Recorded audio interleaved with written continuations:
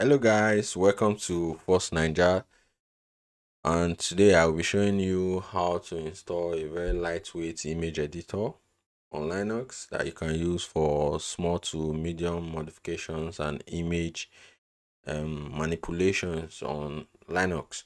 And if you have ever used the paint.net application on Windows, this is like a Linux version of it. So it is it is something that you be very familiar with if you have used paint.net and it also has some of the feature of paint.net and other extra feature that makes it unique. It's lightweight and it is easy to install. So let's go right to it to install it on our system. To get it you simply open the synaptic package manager.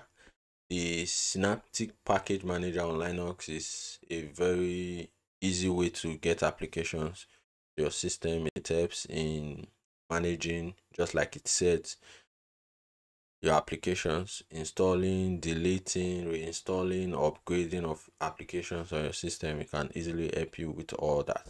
So today we are going to use it to install Pinta. Just open the search feed and enter the name of the application we want to install. In this case, this is Pinta. So just click on enter. To help us to do a little search for the application. So we have it here. If you select it you see it. An easy to use drawing and editing program. Is going to provide a simplified experience for casual users so it has features like adjustment effects multiple layers and unlimited undo and redo drawing tools and all that.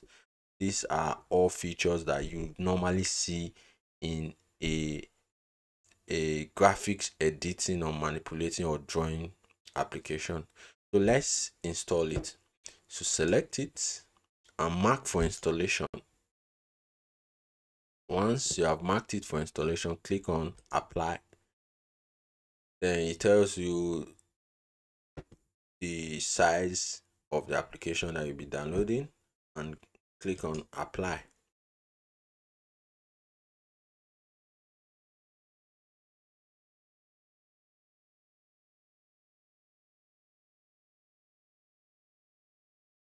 So we are getting Pinta installed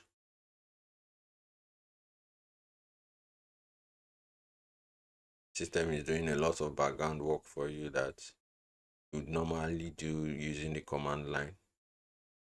So let's wait while it does Pinta.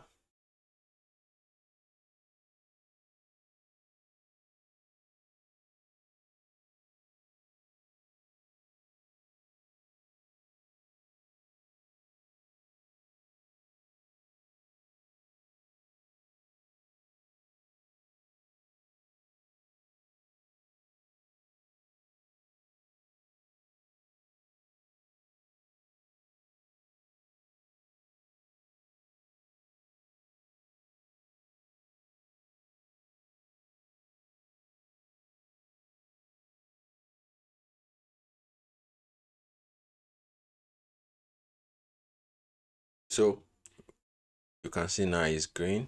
We have it installed. So let's just take a little overview of it. Pinta so you see now that it's installed in the system.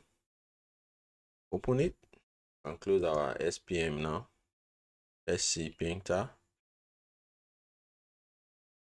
there you have it. There you have it. So you have your color your colored palette then you have your tools that you can use to do a little drawing. Let's see. So you can do some designs some cool designs. And some cool designs. It's it?